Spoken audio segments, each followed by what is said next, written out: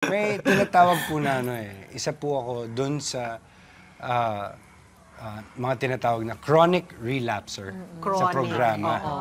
Na pinag-aaralan natin yan sa rehab, di ba? bro? Yeah, yeah. Ah, and then meron mga 80% na chance, you're one of the lucky ones, bro, na hin- hindi lahat po one time, big time, na naswak sa loob ng rehab, tapos nagdire-diretso. Ah, that's ah, not so Rare. common. That's very rare. But I'm still recovering, you know. Yeah, we are. We still, we I still still acknowledge. recovering. We still constantly check acknowledge myself.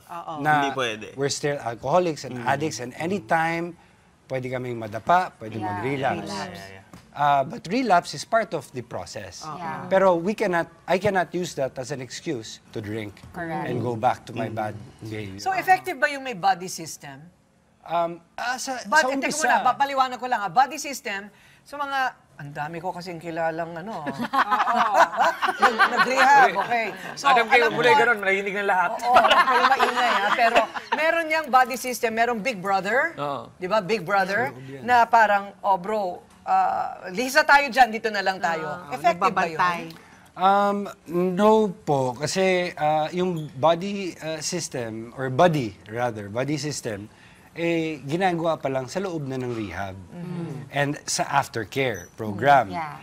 But we really have, I really have to um, want and live my program by myself with the help of um, the people in the program. So I need to connect always. Meron naman po kasing uh, uh, Zoom meetings, support Yeah. group na pwede naming ilabas yung mga resentments po namin. Kasi ang mga addict at alcoholic, madrama po kami. Ang dami naming resentments, ang dami namin Baggage. tinatag baggage, anger right, issues. In the States, it's called a sponsor, di ba? Somebody who has gone through the same journey.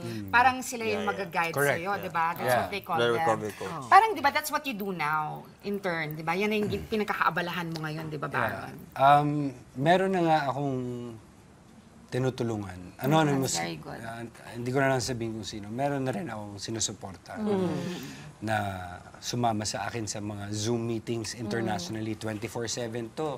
Type in nyo lang yung keywords. Oo. Tsaka nagpupunta ka sa mga probinsya, di ba? Yeah, kasama ko yung wife ko ah, na ah, yun yung advocacy namin, mental health and addiction. Oh. So, Baron, how how long have you been off alcohol? When was the last time you drank? How long have you been sober?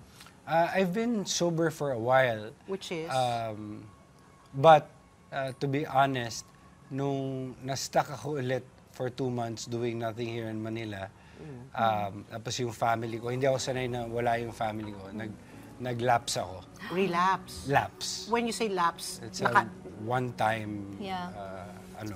And then pag ganun, back to zero. Ni- Back to zero, of course. Oo. So, you know, dito sa sa sa programa kasi namin, we have to be ano eh, brutally uh, honest Yeah. sa sarili namin kasi pag nagsinungaling sinungaling kami ulit, ayan, magiging sinungaling kaming tao ulit sa lahat ng Correct. tao. After nung nag-lapse ako, tumawag ako kagad sa rehabilitation center namin sa Cebu uh, kay Sir Jotham, yung 180 Degrees Rehab Center. And I told them, I need help. So uh, I have Sir Cabs and a psychologist who's helping me uh, with my anti-self-sabotage program. Oh, may anti-self-sabotage. So okay lang na, yeah, it's part of the process. Pagdapa, akyat agad. Angat agad, tayo, lakad. But pag ganyan kasi, di ba, you have to identify your triggers, di ba? So ano yung nagtitrigger sa'yo na uminom? Loneliness. It uh, h- lima yan eh. Halt. It's called ha- halt. Uh, pag hungry ka, angry, um, lonely, uh, and tired. Uh, so Halt. halt. Halt. So hungry. naramdaman ko po yun na two months kung hindi nakita baby ko. And then ako lang mag-isa sa small box. And then after kung mag-lapse, nung nandun yung guilt and shame, nagpunta po ako sa meeting, mas malaki po problema sa akin yung mga tao doon.